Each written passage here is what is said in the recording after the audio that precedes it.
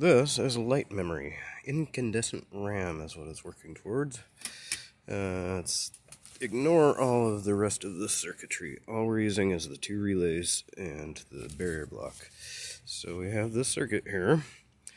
And what happens is when when the light bulb is already written with a value, high or low, then you can refresh it. You can take the power off of it and then you can push this button and it will automatically uh, determine whether it was on or off previously and it will either keep heating it up if it was on or it will make sure not to heat it up if it was off.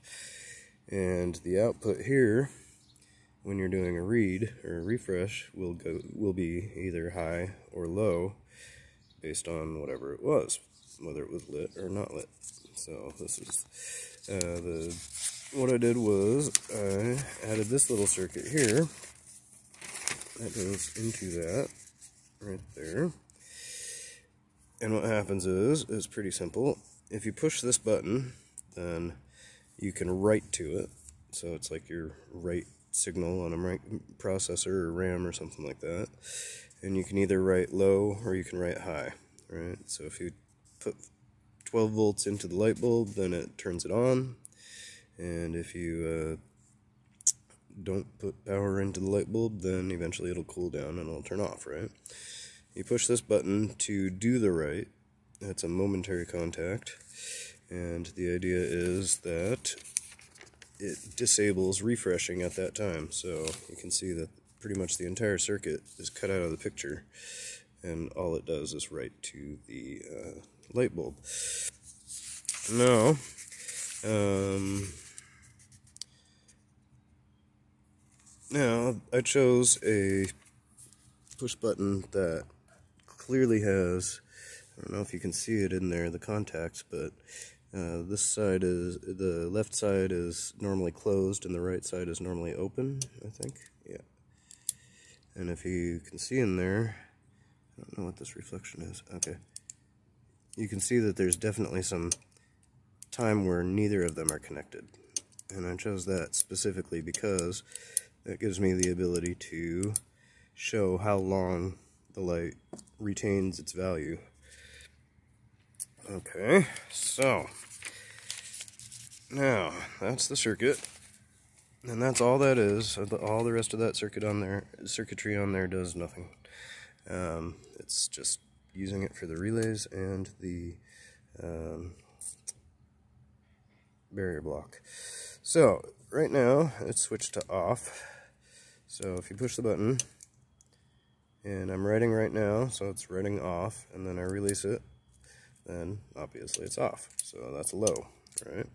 If I turn it on, and do the same thing, okay, so now I'm writing high, and then I release it, and you see it blinks. That's the time when the two contacts are uh, not making contact together at the same time. Neither of them are making contact. And so now it has written, and now the refresh circuit, again right here, is holding the light high. So, interestingly, it has quite a bit of retention. See, that time it didn't retain it because let it cool down too much. But uh, So let's rewrite it I, and then let it off slowly. Let's see how fast we can do this, or how long we can. So that's about how long it'll retain the value, almost half a second.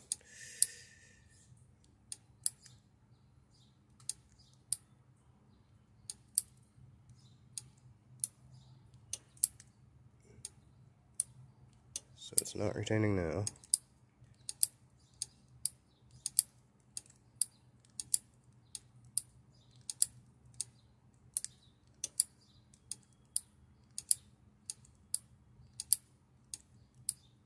There's some really interesting factors in here that I don't know if I have the time for, but because my SD card fills up quickly. But um, one interesting thing I found about it was you might notice that it gets dim sometimes while switching. Let's see. There, you see how it went dim for a second and then it got bright. So the bulb has cooled down so much that if you look at the circuit, it's, uh, uh, here comes the train. the bulb has cooled down so much that its resistance is pretty low. Um, and so it's not, this voltage divider here is not producing enough voltage to turn on this relay. Uh, but what happens is, because the power is coming through here to turn on the light, it's slowly heating up the bulb again. and then eventually the relay kicks in because as the bulb heats up, the resistance goes up, and as the resistance goes up, then the voltage here goes up, and then that causes this relay to eventually kick in. I did not plan that one. That one was kind of a cool side effect.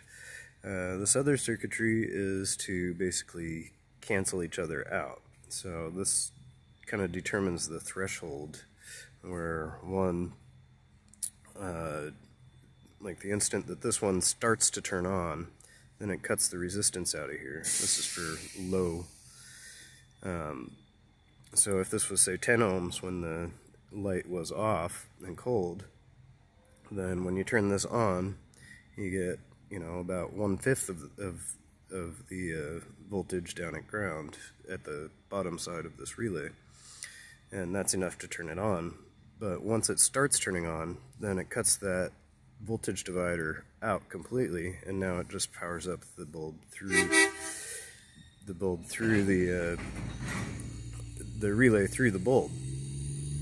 And when you uh, do that, then you know then it starts switching faster because the voltage is dropped. But then as it gets to there, then it shorts itself out to ground, and that keeps the voltage, uh, it keeps that relay on and shorts out the bulb so that it doesn't heat it up anymore. Uh, and I guess that's all I can say right now.